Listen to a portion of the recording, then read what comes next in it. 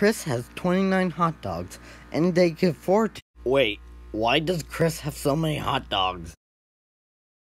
Mind your business, Susie!